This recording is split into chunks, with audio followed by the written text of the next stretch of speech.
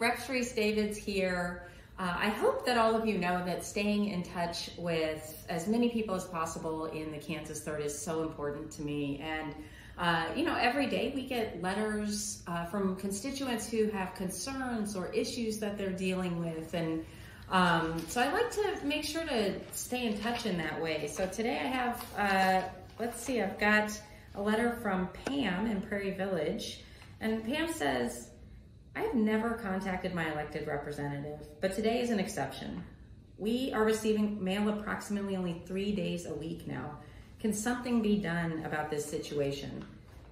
Uh, wow. Uh, thanks for writing in, uh, Pam. You know, my mom was a postal worker um, after she spent 20 years in the Army. And so um, I have a lot of respect and uh, a lot of respect for the folks who are doing that work. It's an essential service that um, that so many people depend on.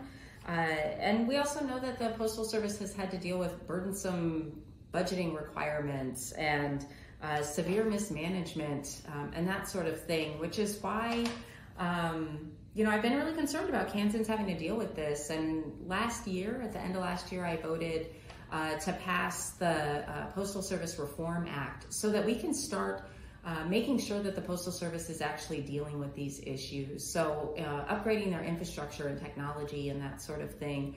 Uh, it's something that um, I have voted to uh, to pass legislation on, and now that we're going to start seeing them uh, doing that work, I hope you'll stay in touch and, and keep us updated about how that's working out. Um, and for everybody else who's watching, uh, if you're having that kind of problem or, or any other problems with the federal government, make sure to reach out to our office or you can go to our website at davids.house.gov and uh, stay in touch that way. Thanks so much.